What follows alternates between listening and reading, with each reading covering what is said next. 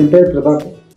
என் பையன் பேர் ரோஹித் வர்சன் அவனுக்கு டூ தௌசண்ட் ஃபோர்டீனில் மஞ்சக்கா மாலை வந்தது. ஸோ அது எவ்ரி டென் மந்த்ஸுக்கு ஒன்ஸ் வந்து ரிப்பீட் ஆகிட்டே இருந்தது. நாங்கள் லோக்கலில் டேப்லெட்ஸ் இதெல்லாம் வந்து ஹோமியோபதியில் வாங்கி சாப்பிட்டோம். அப்பப்போ க்யூர் ஆகிட்டு இருந்தது பட் பெர்மனன்ட் சொல்யூஷன் எதுவுமே இல்லை. ரொம்ப சிவியர் அட்டாக் ஆன குளோபல் வந்தோம். குளோபல் வந்து டாக்டர் ஜாய் சாரை பார்த்தோம். அவர் வந்து பேசின எல்லாமே பாசிட்டிவாக பேசினார். அவரோட அப்ரோச் வந்து எனக்கு ரொம்ப பிடிச்சிருந்தது. கண்டிப்பாக நம்ம பையனை காப்பாற்றிடுவார் அப்படின்னு நம்பிக்கையில் சார் மேல் நம்பிக்கை வச்சு நான் இங்கே அட்மிட் பண்ணேன். நான் என்ன நம்பிக்கையில் அட்மிட் பண்ணனோ அதே நம்பிக்கையிலே வந்து பையன் நல்லபடியாக க்யூர் ஆகிட்டான் ஸோ சர்ஜரி ஓப்பன் சர்ஜரி பண்ணாங்க. லிவர் டிரான்ஸ்பிளான்ட் பண்ணி முடிச்சுட்டு ஃபார்ட்டி டேஸ் ஆச்சு. இப்போ வரைக்கும் அவனுக்கு எந்த தொந்தரவும் இல்லை நல்லா இருக்கான். Hi this school கோயி boy master Rohit when he was brought to our hospital, he was almost in the comatose stage.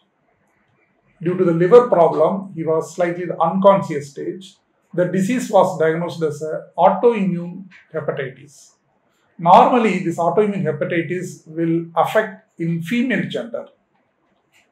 Mostly in the middle-aged or school-going girl, they will get autoimmune liver problem.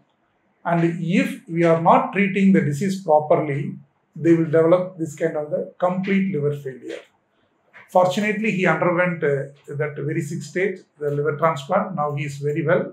But the key message, if we are diagnosing the disease little bit early, with the help of medicine, we can avoid the transplant. There are good medicines are there in autoimmune hepatitis. Properly, if you are giving the medicine, we can avoid the major surgery. Thank you.